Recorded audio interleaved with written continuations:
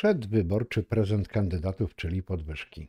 Pewna rada nadzorcza, a w skład której wchodzi czterech kandydatów do naszego e, samorządu, e, uchwaliła podwyżki, które dotyczyć będą e, dużej liczby mieszkańców Białogardu.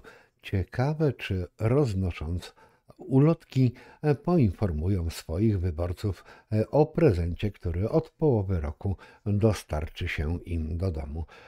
No, możemy pytać, a ja postaram się wyjaśnić sprawę w niedzielę po południu. Zapraszam tydzień w 7 minut.